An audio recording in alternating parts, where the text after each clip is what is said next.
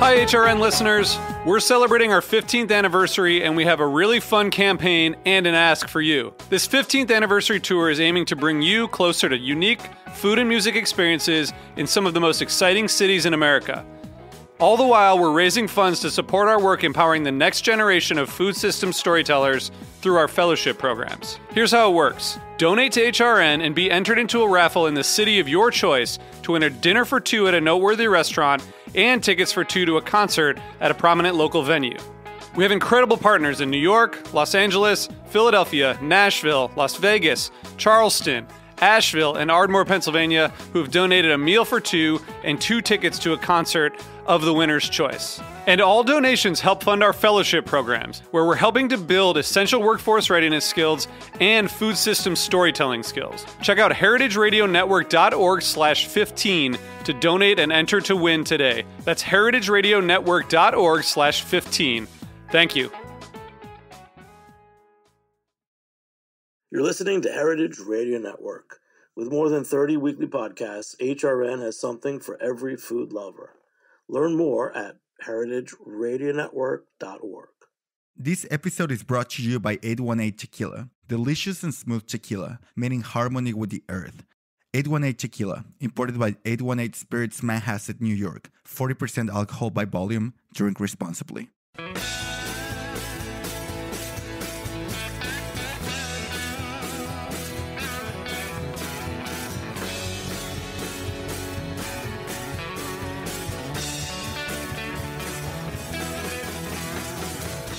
Hey, hey, hey, welcome to Beer Sessions Radio on Heritage Radio Network. I'm Jimmy Carbone. I'm the host here on Beer Sessions Radio. And today is Tuesday, July 13th, 2022. And uh, got inspired last week by a little article uh, about porter. So I'm kind of thirsty. So let's go around the room and introduce the guests. Start with Lew. Hey, I'm Lew Bryson. Uh, I'm in Pennsylvania. I've been writing about beer for wow, uh, coming up on 30 years, uh, and whiskey not much less than that. Um, I'm the guy that wrote the article. Uh, it was a uh, it's a piece on uh, porter versus stout, and so we're all going to get together and talk about porter, and, and I guess drink it too. All right, and uh, Todd. I'm Todd DiMatteo, and uh, I'm the head brewer and one of the owners at Good Word Brewing and Public House, and we're located in uh, Duluth, Georgia. All right. So you know, with all the styles and and and beers that are out there, Lew, why did you write an article about porter? Well, I got to be honest with you. I, I wrote it because Danny asked me to, because um, you know that's what you do. But um, I was I was happy to do it. I was hell, I was eager to do it. Um, porter's always been a favorite style. Uh, I mean, some of my best beer memories uh, actually revolve around porter rather than IPA or lager or um, anything like that.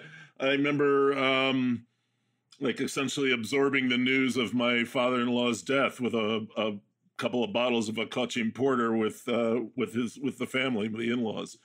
Um, porter. Uh, I remember a great night drinking draft porter in uh, in Myrtle Beach. One of the few things that made being in Myrtle Beach uh, bearable at that point. Um, I just I, I really like the style, and uh, you know when he asked me to write it, I was like, absolutely, I'll do that. Let's let's go. That's great. And and, and Todd, I, I, one reason I invite John is because I know you've made a lot of little beers and session beers. And uh, what's your take on porter? Um, I'm kind of with Lew as far as uh, gravitating more towards uh, porter as as uh, my drink of choice of the two. So yeah, we make a lot of small beers. Um, we actually have a four percent English style porter that I make every six to eight weeks. Um, I also make uh, a petite stout pretty often. It's basically a dry Irish stout, but I wanted to be a little bit lower in alcohol uh, than the BJCP calls for. So it's like 3.5, 3.6%. So, um, yeah, I mean, I, our English porter is probably one of my favorite beers uh, to drink. You know, it, it it doesn't have any roasted malt. It's got uh, some nice brown malt. That's I don't know. It's something I really want to go back for. And even though I like that petite stout of ours, it's it's kind of acrid and has a lot of coffee flavor. It's, it's a little more. I wouldn't call it more standoffish, but it's not something I could just sit around and drink when the weather is, uh, you know, kind of mild. You know what I mean? That uh, definitely sounds like you've got a good differentiation there. I love that. Yeah. Keep going, Todd. Well, I actually wanted to say, you know, I haven't met you, Lew, um, yet, but I wanted to extend an apology because Oh, uh, no, no, seriously, I uh, we make a uh, a summer ale now, and I had just released a second batch of that, and I don't know where I saw it, Lew, if it was in your Facebook or Twitter, and you were like, I forgot you said it was pretty good or whatever, but you said it was um, it was too light and it wasn't balanced, and I was quick to defense and thinking that you had the second batch because the first batch was super dry. It was like 2.1 finishing gravity and it was out of balance. But the second batch was like, I hate to say, you know, my opinion, like really nice, but it was like 2.6, 2.6 Plato. And I'm like thinking that's what you had. And then I look back and I was like, fuck, he did, he's drinking the original. He's fucking right. And uh, so I just wanted to, and that's Dude, why I you was like, apologize or thank or say anything you want to after that. You're yeah, no, no, for that's real. all So- good. so I that's the reason I wanted to be on the show to say I'm sorry. You were right. It was too dry. But that second batch was the only one I I brewed it now t- two more times. I've been trying to mash higher and and all this, but the the beer just wants to finish a little bit lower. Um, I like it as far as drinkability goes, but I feel like it it doesn't quite strike that balance because it's got 13 pounds of uh, you know low alpha hops in there, and uh, you know so for a small beer as it is, four point you know two percent or whatever. Um, it's bitter, you know, and I like that. But as far as like striking a perfect balance, it does not. And you were uh, you were dead on. So anyway, I just want to say uh, thank you for the feedback, and I'm sorry I was wrong. You were right. Thank you. Thank you. Yes, of course. Um, I'm actually drinking a bigger porter than usual. I've I've been a huge fan of Baltic porters for a long time, like well, actually longer than I've been at this. I I think I had my first Baltic porter in like '93. Um, oh wow. and I have one from uh, Urban Roots out in uh, Sacramento. Uh, Peter's a, a good friend. We we met judging at GABF and stayed in touch, and he sends me beer every now and then. So I have the uh, Geeks of the Industry Baltic Porter that he does. Um, real good beer. I mean, he's he knows I like them, so he sends me those in every box. Nice. I love a good Baltic porter. yeah, Lew, one, one thing I liked about your article is that is that you you really did you opened the window to talking about it, and t- tell us about the the history of of porters, in in you know your words. Wow. Um, I mean, I read the same stuff everybody else was reading in the late 80s and early 90s, and I can pretty much just chuck that all out the window.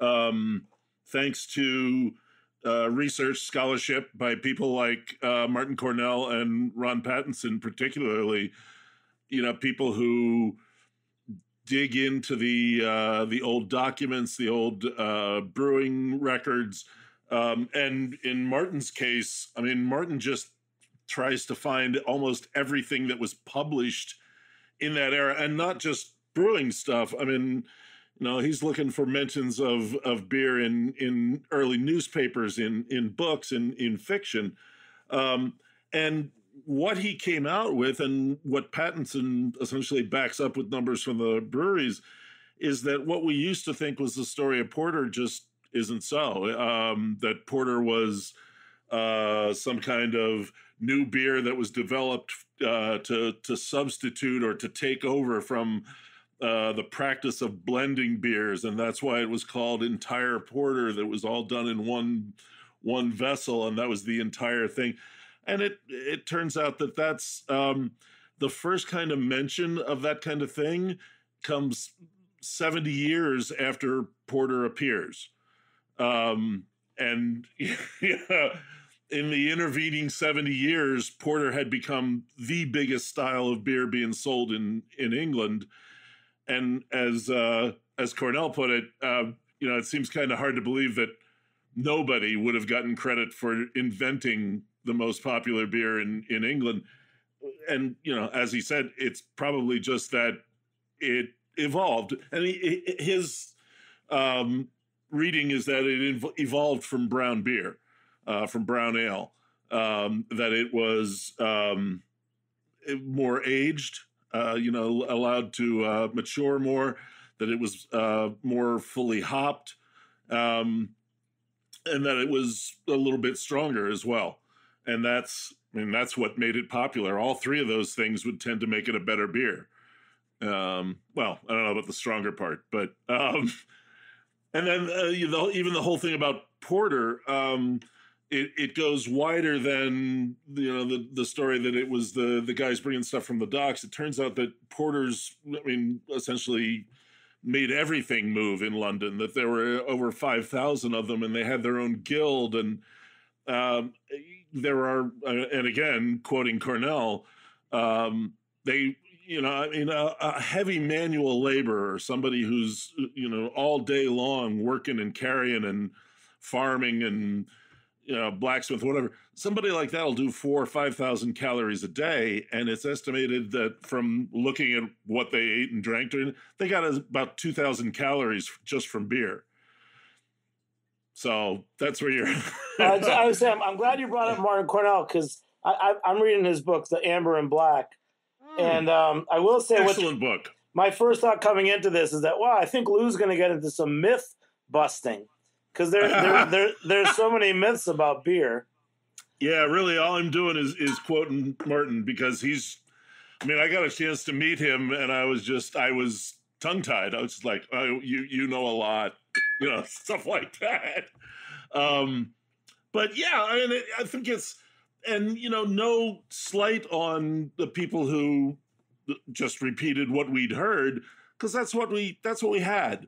Um, but when someone comes along and I mean I couldn't get it at brewery records and to be honest I'm not sure I'm not too lazy to have not done it um, but hey well Lew you're honest. a really good editor put it that way right true. yeah um, but uh, you know porter was a, a, beer style that came along exploded um, and you know for over over 120 years was a dominant beer and then it was it had almost disappeared by the turn of the 20th century.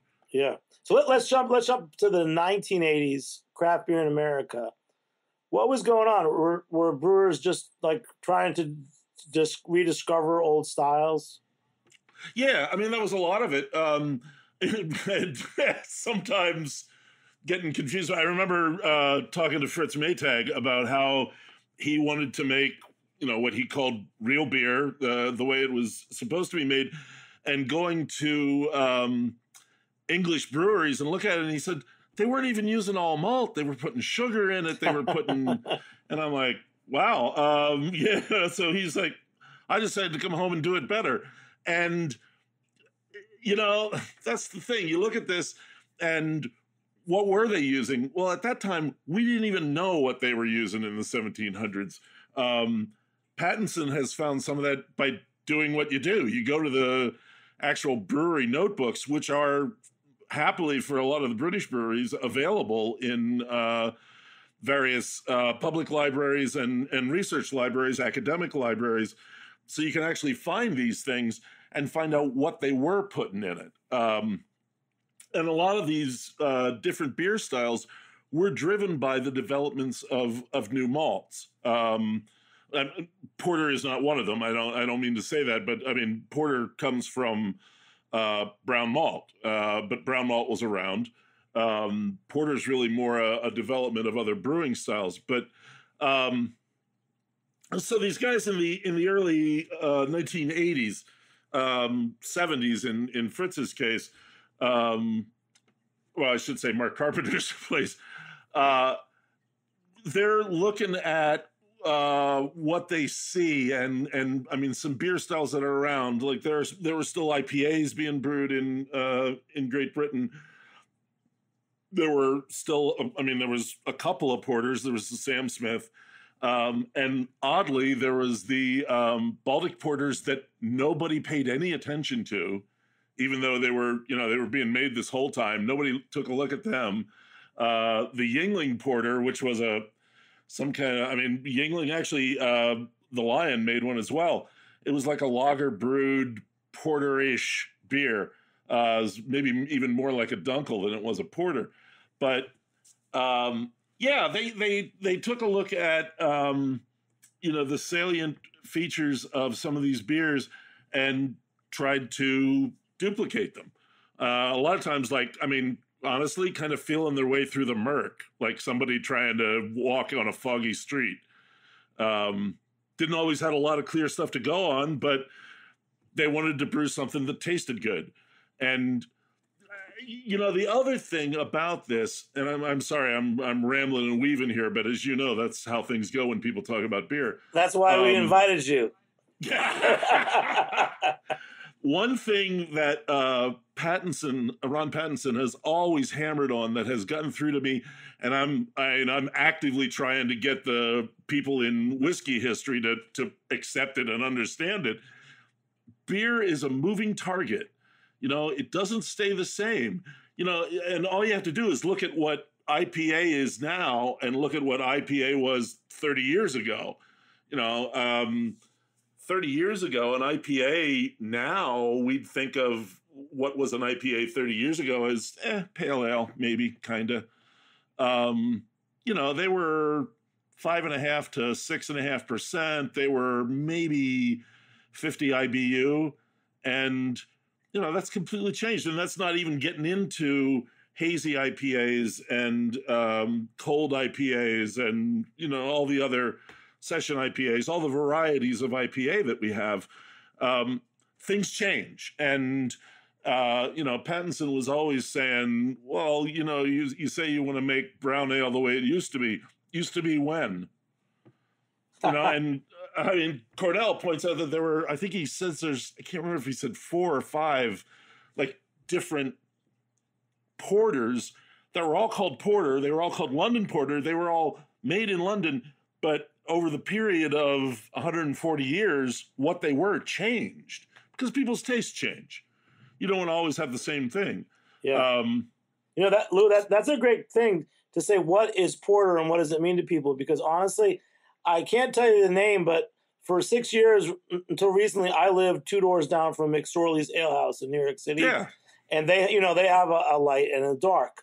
Well, one day I saw the keg delivery, and I can tell you that I know what the dark was for a couple years, and I'll only say that it was a porter. So, although it may it may have changed since then. So, um, just just food for thought. But but Todd, for I you, I gotta tell you that that light and dark labeling has always been some of the most honest ones out there. I really shouldn't talk about, it, but I can just tell you that it's a highly coveted, highly coveted placement, and the, even the sales reps who, who, who get that account uh, are not supposed to say that their beer is there.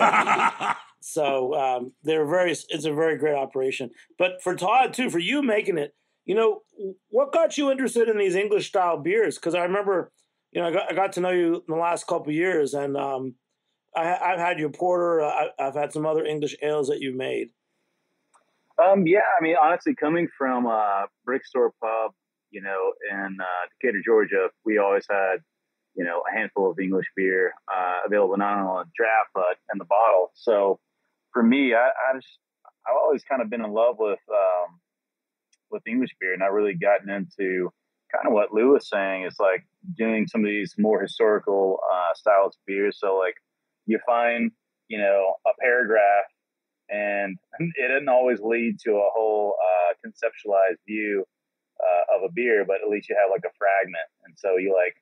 All right, I, I kind of have an idea because there's no way you're going to find a commercial example of like you know, a Donker beer or a Shank beer or something like this. And we were lucky enough to host uh, Ron a few months back. Uh, he came to the pub and we did he did a little talk with Stan Hieronymus, and you know, like you said, he he has a ton of knowledge and has done a lot of uh, work and research on uh, on brewing, and you know, he's definitely a bit of a myth buster, and it's fun to hear some of the stuff. But like you know, like he was saying, a lot of it had to do, or what he said when he was here was lot of it had to do with taxes and you know what was going on at the time. Was there a war going on? So like uh, Lew touched a little bit on like uh, adjuncts and sugars being used. Um, Fritz Maytag kind of knocked that, I guess. Um, I'm a fan of that. I, I actually I think adjuncts have kind of gotten a bad uh, rap, but uh, I'm a big fan of using rice and corn and stuff like this and and um, mashes and you know we have a house dark mild, a house bitter, a house porter, and um, a, a summer ale. So I brew those all the time. And so when you have that many English beers on draft, it's hard to brew like, all right, I'm gonna brew something new. But recently I did like three different collabs with some uh, retailers, and I was able to make you know finally this corn mild. I've been wanting to make a corn mild since I read about it like a year and a half ago, and it was so soft and silky. The mouthfeel, like if you look at it on paper, I would say like as far as uh, BJCP stats, it's probably closer closer to like an English uh, English brown ale um, because it finished a little bit higher in uh, in gravity. But man, it was it was so it was so good. And I'm not just saying because I've made it, but like I thought it was better than our our dark mild. And uh, we're actually making a, a, beer with some folks up your way, Jimmy. I pitched them on a um, uh, corn bitter, so we're doing a best bitter with uh, corn, corn uh, at threes in a few weeks, and they're gonna. Oh man, that's amazing! Yeah, yeah, they're gonna put it in the foeder for 30 days too. So I'm I'm a big fan of trying to take away the uh, adjunct American lager and bring it back and you know make it a good thing or whatever. So I, I would kind of like to do away with the whole word adjunct. yeah, they're just, yeah. They're just other grains, or yeah. I mean, or even sugars. You know? Sure, sure. And yeah, it's totally. it's a it's a very judgmental word. Yeah, it is. And to that point too, talking about stouts, like a lot of these, you know, I don't want to pick on any brewers, but people say, "Oh, let's what's all this adjuncted with?" It's like that's not a fucking adjunct, bro. That's a that's a spice. you add you added Yeah.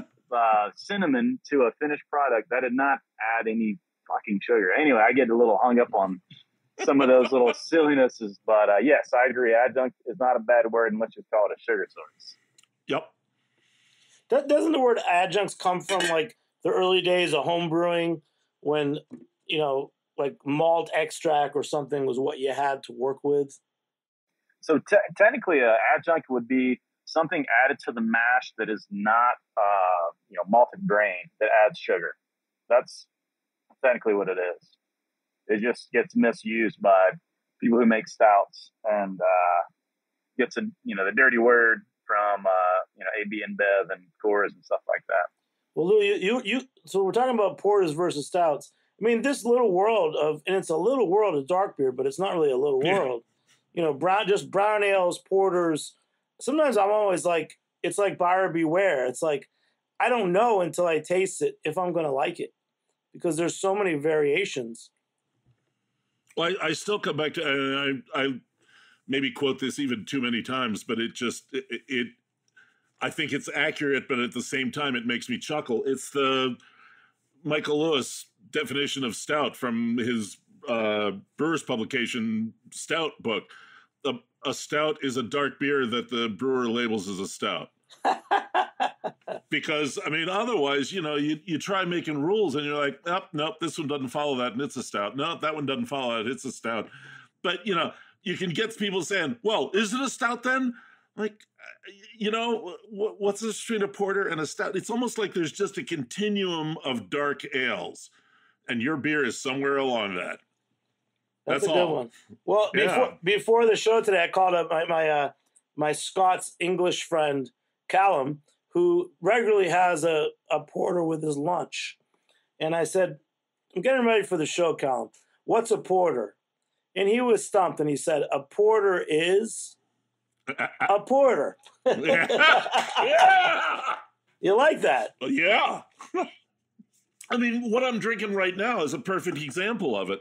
I mean, a Baltic porter was literally an attempt to imitate an imperial stout. So it's a porter trying to be a stout, and the, the best part about that is it, originally the imperial stouts were called imperial porters. So it's it's almost like uh, Robert Downey Jr.'s character in Tropic Thunder. I'm a dude imitating another dude who's acting like a dude. Like that's that's what a Baltic Porter is. You know, Lew, about your writing and stuff. So, I mean, you you you put in a lot of references. You just you just put in a, a film reference. uh, Yeah. you got references about music. Um, you know, Oh right, the Moldau thing. Yeah. yeah. T- tell us about your writing. I mean, you've been writing for thirty years, um, and you. I love you. I mean, I love it. I, I could read your stuff all day. Thank you. Thank you. Um, I, I mean, I joke with my my daughter about this that um, you know, I I remember I was uh, binging on Breaking Bad, and she's like, "Shouldn't you be like working, and this is she was in a very earnest phase at this point. She's like, shouldn't you be working right now? I'm like, I am working. I need cultural references so I can write gooder.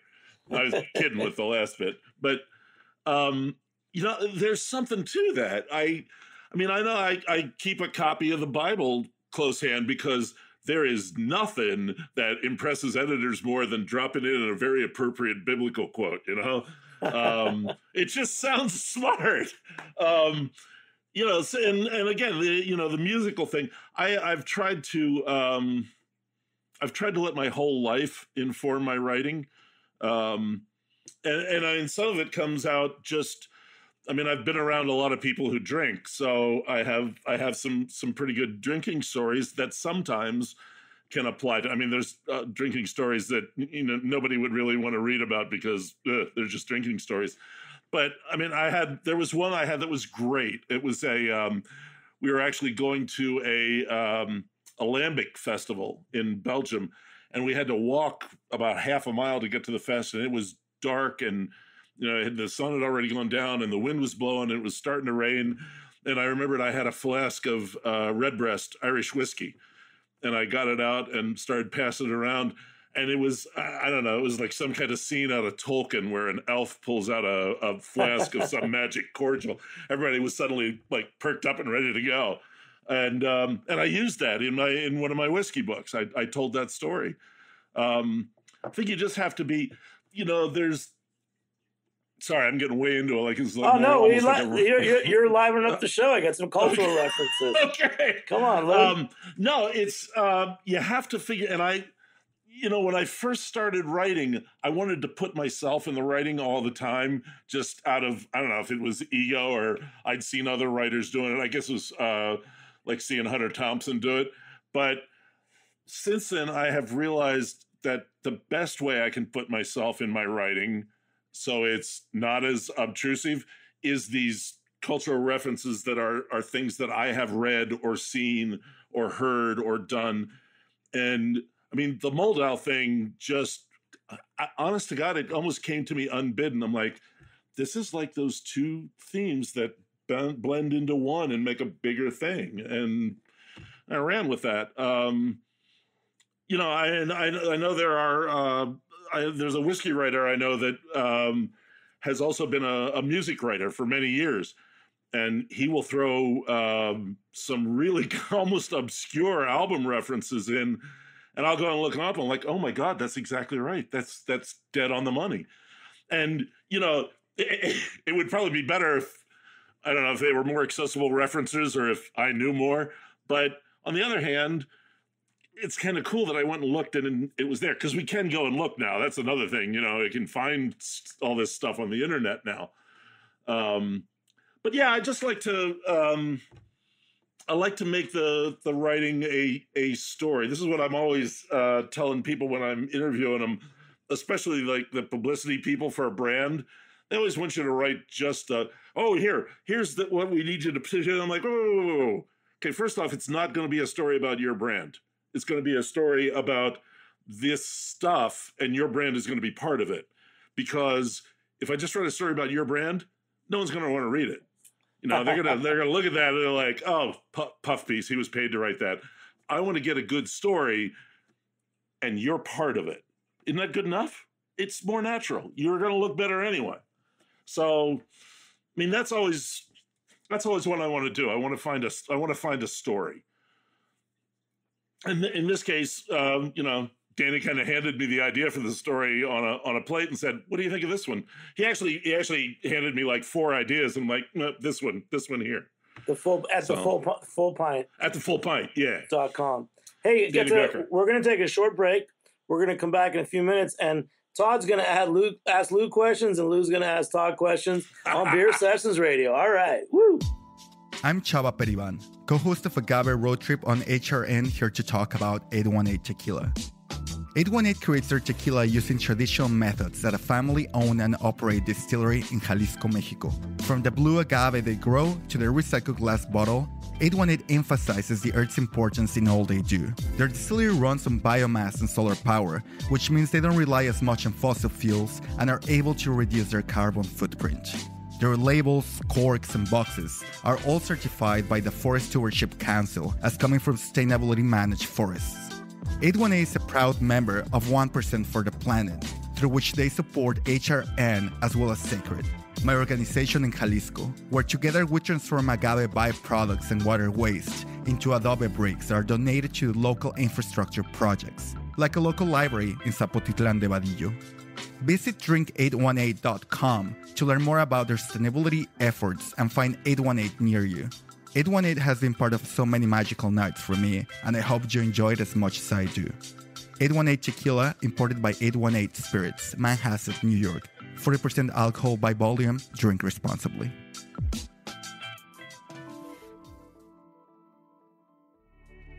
HRN is home to transformative exchanges about food.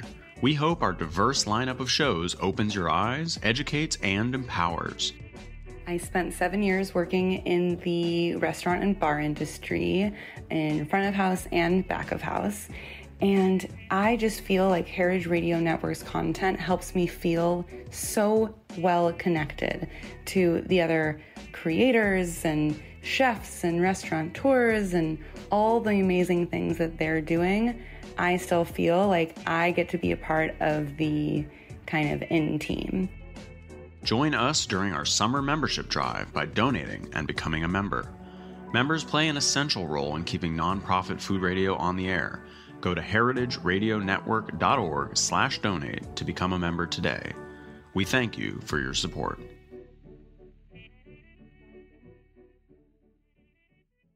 Hey, hey, welcome back to Beer Sessions Radio on Heritage Radio Network. Join us, become a member, support us at heritageradionetwork.org slash donate. It's a nonprofit radio network, now a podcast network uh, with over 30 shows weekly, but everything from food, farms, cocktails, beer, cider, and more. heritageradionetwork.org slash donate. So Lew and Todd, we're talking about porters, but a lot more. Now let's just do the writer life thing, okay? Since you're on that, Lew. I like this. so, what about the role of writer as critic since since that's the only reason why Todd came on the show today.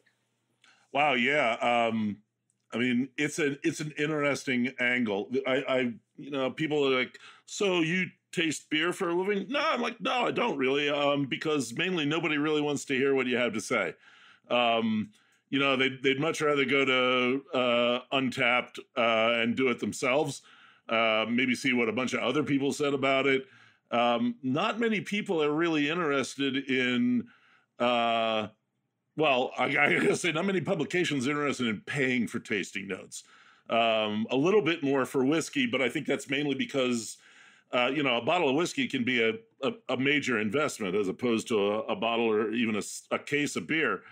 Um, so I think people are a little more interested in that, but um, there's not not so much uh, people want to know about that. Again, I think it's it's more people want to hear stories. That's a good one. Hey Todd, and for you, um, you're you're in the cusp, in the middle of everything. Apparently tonight you've got John Holl, one of our mm. favorite writers at Good Word Brewing, and you had Ron Pattinson there not too long ago. Um, That's say, a great program you're running. Yeah, say anything about yeah, beer writers yeah. or yeah. So yeah, I got a lot actually. So uh, John John is awesome. He said to tell you guys hello, uh, and he, he mentioned your uh, your pint. Uh, I forgot how he phrased it, but he said to ask you about your pint, uh, Lew, your pocket pint. I think he referred to it, but it sounds like you already you, you, let us you let us know already. Um, but it's funny as you were talking, Lew, and uh, Jimmy had mentioned something about uh, critic and and and talking about beer. I feel so close to the source for our beer, and that's probably why I got defensive when I first saw whatever Lew had written because, you know, obviously one of the owners here, and then I'm the guy that makes the beer, but I'm also the one who like runs the social media. So it is hard not to sometimes be like, oh my God, because like like you guys said, Untappd is kind of the driving force for like unfortunately, I, and I really don't give a shit if Untappd hears this fuck Untappd. Um, but they they uh it's it reminds me of the Ouroboros, or however you say that, the snake eating its own tail. Oh, because yeah. What, what's happened is this great homogenization of like beers and breweries and retailers. Because what happens is these uh, Untappd scores drive the consumer because that's what, and it drives the uh, producer, us, because um, you know they're like we only want scores of this high threshold, right? And so then that's what you see when you go to a bar, and that's what you see when you go to a, a brewery, and that's what people want. So for us, now don't get me wrong, I make hazy beers and I make uh, fruited sours and I do uh, silly stouts. But if you look at my list, and John was saying it earlier, we literally left his podcast and I ran up here to do this one. Uh, but um, our list has probably 16 beers on it right now, and I'd say 90% of those are, uh, you know, uh, English beer and, and lagers, and if not, they're sub 5% beers. So even though I look at Untappd if I want to get a little depressed, um, I I don't let it dictate how I run this business. Um, meaning, like you know, i will be 43 in December, and I started in craft beer in 2005. I've I've only been brewing for um, about six seven years, and, and two of that was um, a home brewer. So that being said, even though my career is short as far as the brewer, um, I've got a lot of pride in what I do, and so you know, maybe it's a detriment that I'm also the one that runs like the social media uh, part of it. But um, anyway, so it's kind of got to be rough having that right in your face. You know, you're yeah, the guy who's yeah. got to respond to the yeah. It, it, can be, but you know, and also do like the Google reviews and stuff like that too. And I don't know, man. I try to remember the end of the day, it's only beer. But oh, I was going to say this. So we talked about uh, Jimmy mentioned writers and all that kind of stuff. So writing is like in my in my blood. So for me, um, I've always kind of connected with writers. I was in a band for a long time, and I was a senior songwriter. My grandfather wrote for the uh, AJC, and he was a um, speechwriter for Jimmy Carter. Um, so, like, what's what's AJC? Oh, I'm sorry, uh, Atlanta Journal Constitution. Okay, thank you. Um, yeah, and he was a sports writer for a long time. His name was Bill Robinson. But anyway, so I've I feel like writers like Lew and like Ron uh, Pattinson, Stan Hieronymus, John Holl, um, Kate Bernot, uh, you know, even the Alex Kidd, like these guys have this like credibility, and I, that's one of the things I do is, you know, I send a lot of beer to writers. I'm like, you know, I don't ask, hey, put this in the, thing, you know, to Lew's point, I don't want it to be a fluff piece, but like, if Lew's asked, like, hey, do you have any good English summer? I was like, yeah, I had one. It was good. It was probably a little too fucking dry, but it was pretty good. Uh, I'll never forget it. but you know what I mean? Like, instead of uh, spending a bunch of marketing money to Untappd and paying them for whatever the hell they would do for us, I'd rather send beer to um, beer writers and let it happen like organically. So if like you know, again, somebody likes what we're doing and they write a piece that, you know, it can involve like small beers in some way. And they're like, also good word, uh, brewing in public house and Duluth, Georgia does this little beer event and it's only lagers, you know, whatever that ties it back in because, you know, like you said, so it's many, more organic. It's just more totally. believable. Yeah. And, so, totally. and there's so many stories out there and people, our attention spans have just gotten shorter and shorter. So, but, uh, yeah, fuck Untappd. That's good. hey, uh, Lew, um, keep going. Uh, for you, your career, editor and writer, wh- which do you prefer? Oh wow. Um, I mean, I really enjoy editing. Just, I mean, the actual, uh, like getting my fingers into a piece, and I mean, some of the some of the best moments I've had in this career have been when, uh, you know, writers have said, well, you made me really, you really made me sound better there. Um, and I mean, I remember one uh, writer. He's, I mean, established writer. He's been at this longer than I have, and I took his piece, and I, I remember all I did was take three three paragraphs out of the middle and put them at the front because it was a better lead than than what he had written. and I was, I mean, it was practically all I did. And he came back. He's like, "You're right. Thanks. That's really good." Of course, on the other hand, I remember. I remember Steve Beaumont one time saying, You really are a good editor because you knew right how to find the heart of my piece and cut it out. Like, yeah, okay, all right, whatever. yeah. but no, I mean the um the minutia of editing, you know, the scheduling and all that crap, yeah, hate it, hate it. The I mean the the working with the writers part, that's great. I really love. I mean, I've I've I've helped uh, I've helped develop some writers. Uh, I mean, Fred Minnick, uh, who's a, you know the big name in whiskey writing right now. Fred's like, yeah, I mean, you taught me how to how to write in because Fred was a newspaper writer before. And I mean, I remember the first couple of pieces he sent to us, they all had these like two sentence long paragraphs, like burp, burp, burp, burp. And I'm like, have a longer thought, you know? And that's sometimes that's all it takes. And uh, you know, that got better. I I've been I've been lucky enough. I've uh mentored uh, a number of uh, women into the field, and uh, I'm actually working with a uh, uh, a new organization that's um, helping women get into whiskey writing, and I'm and I'm like an official mentor now, which is really cool. so, yeah, I like doing that part. I yeah, writing. Um, you know, some some days it's good, some days it's not. Uh, I just did uh, like four pieces in the last week and a half, and three of them were a lot of fun, and one of them was a slog. It happens. Well, when when you write well, you make me thirsty. That's all I can say. now back to the, porter. That's so, the best thing to hear. so you, you you listed a couple of porters that you recommended because again, it's like what is porter? As Yeah. as Callum says, a porter is a porter, and I'm like, okay, I, I actually do have some Deschutes, so I have Deschutes Black Porter Classic. but it's 5.5%. Um, you know, is that a, like a classic American porter? Was that the category you'd put it in, Lew? I think so, yeah. Because I mean, that's what my um, I mean, my local brew pub uh, down the hill here, Elk Creek Cafe. Um, Mean, they always have a porter on. They always have a brown on. They always have a pale ale and a copper. Um, and, uh, and actually, they always have an English uh, hopped IPA on as well. But the porters, I want to say five four, five five, and that's you know, I mean, I think that's that's America. Um, some people expect that they do run uh, some uh, later beers uh, in in the rotate. They have three rotating taps. Well, four, excuse me, four rotating taps, um, and they'll run some some lower alcohol beers there. But um, yeah, you know, this is like my um, struggle to get session beers going. Americans just didn't want to do it. You know, they just seem to think that anything under five percent was a cheat. Um, craft beer drinkers, that is.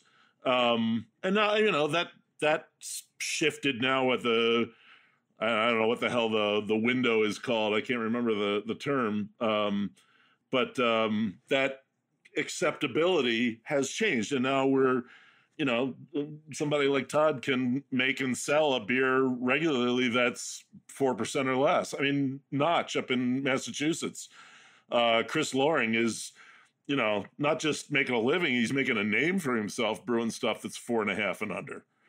So Chris, is awesome. Uh, yeah, I love Chris. He's he's great. I've only had uh, a chance to meet him once. We were actually just emailing.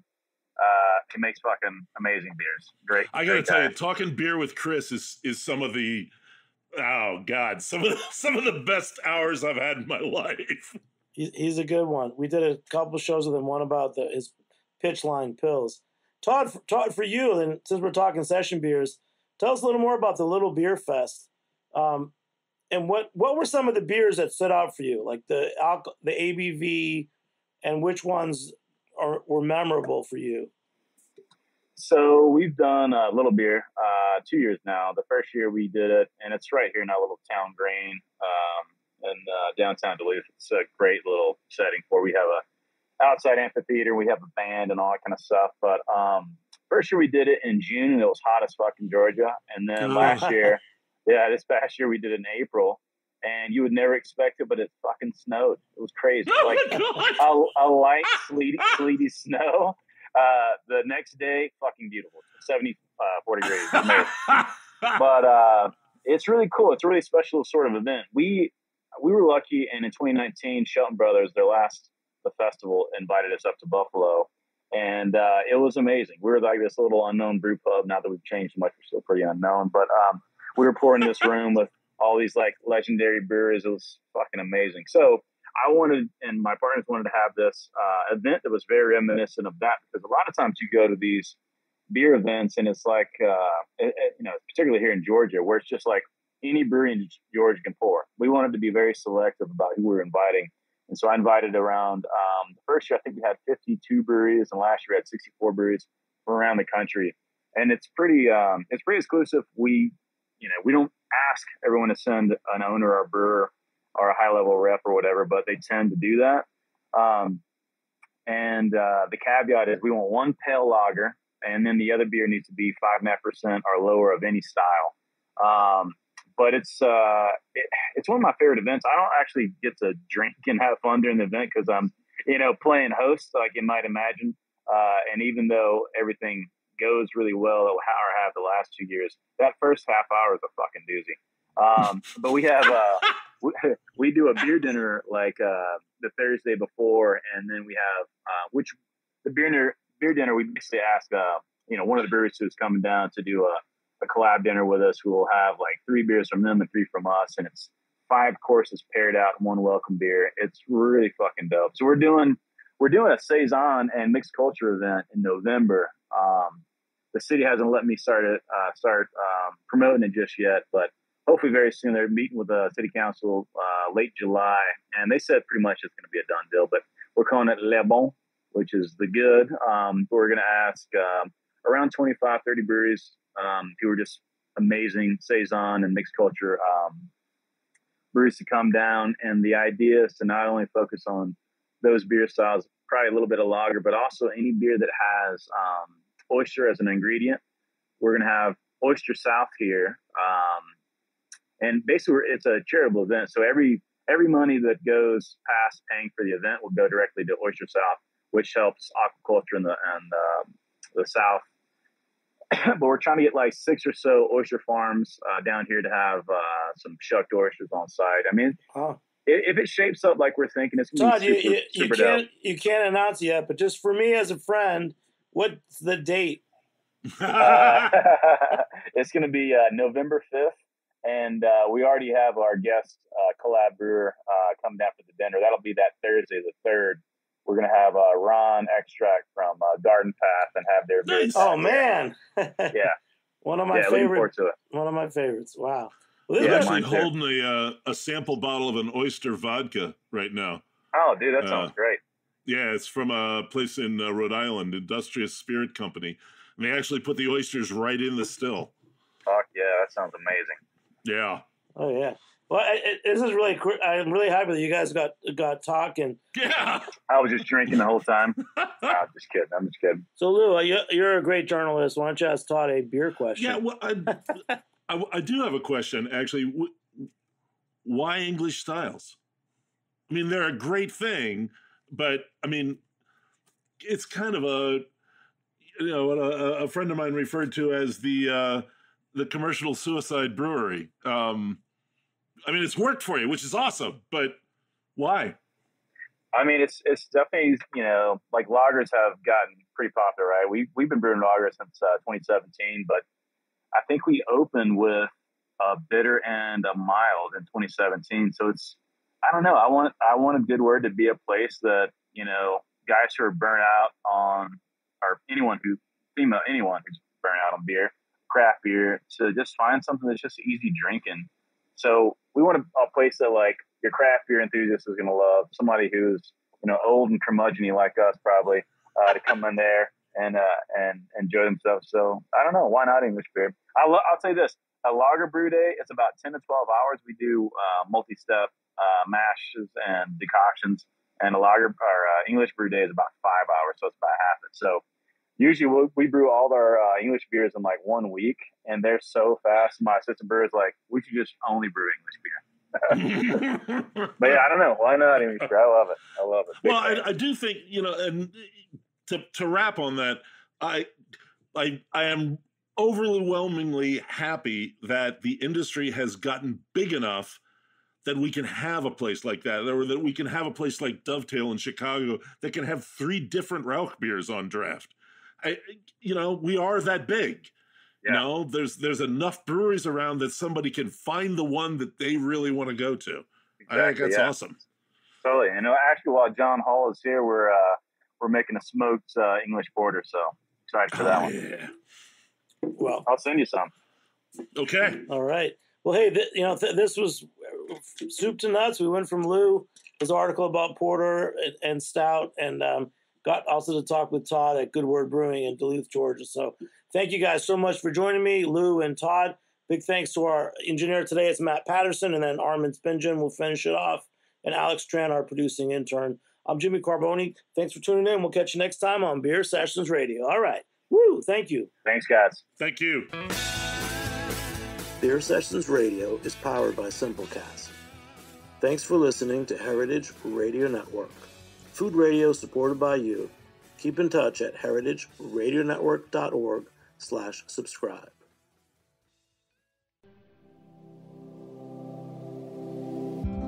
Hey there, I'm Lee Ullman here with some big news from the National Young Farmers Coalition. We're partnering with Heritage Radio Network on a special season of The Farm Report. It's all about what's happening with the Farm Bill and how it impacts farmers and eaters. I am growing diversified vegetables on land that's been in our family for 150 years. And so, with the pandemic, gentrification, property values going up, we had to sell the land and we lost it. Join us as we uncover the untold stories behind this massive piece of legislation that shapes how we grow our food, what we eat, and so much more. The problems we have had, those are things that come from earlier Farm Bill and USDA policy, right? Like Earl Butz, get big or get out. You know, it's my responsibility to know not only what I'm eating, but then like how how that all came to be and realize like, wow, like this piece of legislation, all this money, like it's technically something that I support as a taxpayer. While Congress debates the next farm bill, this is not just an invitation to listen. It's a call to action. Be part of the conversation. Subscribe to the Farm Report on Heritage Radio Network, wherever you listen to podcasts.